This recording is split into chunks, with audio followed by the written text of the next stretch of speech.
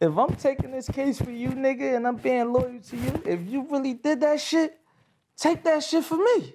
You really committed this action. Yeah.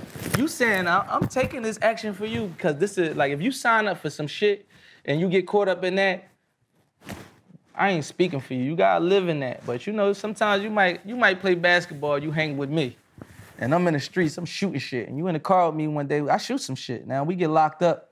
All you know is you can't tell because it's the lifestyle you grew up in. But he played basketball. He ain't got nothing to do with this. That's the first As a ever had. real man, the real nigga shit, I supposed to take that so that young nigga could do what he need to do and further his because he really ain't in this shit. But the way it go, they made it bully tactics. Like even if I kill somebody and you get caught for it, and not saying that I supposed to tell or you supposed to tell, it's bully tactics that I'm not even supposed to stand up for you trying to stand up for me. If you about to take a life sentence and you ain't even do it, I ain't gonna stand up for you. I ain't your fucking friend. Yeah. You shouldn't be my friend.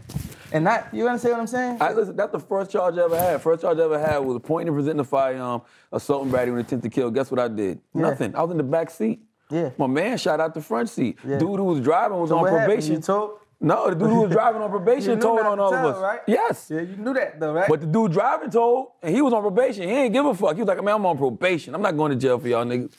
See, me, it's a broken system. I'm just not working with a broken system that's that's going out their way and they're known it's a known fact to go out their way to take people like my color and my kind off the street. I don't. It, it could be fucking somebody could have died. I'm just not working with that system because the it's, it's, it's broken, and that's how we always came up. We always rebelled towards the ways. That I rebelled towards the 13th Amendment. They go to jail. We slaves. I'm not working with that.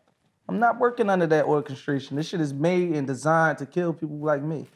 I'm not working with that type of shit. I will I will be in I don't have anything against cops. I will uh I I won't say I'm not working with them. That's a kind of that's a hard way to say, but on that tip, I'm, I ain't fucking with that. So if Meek Mill see a crime, The judge happen, was trying to send me to jail, nigga. She she was in there talking about boys the men on. They came and said, "You want to wear a wire on this lady?"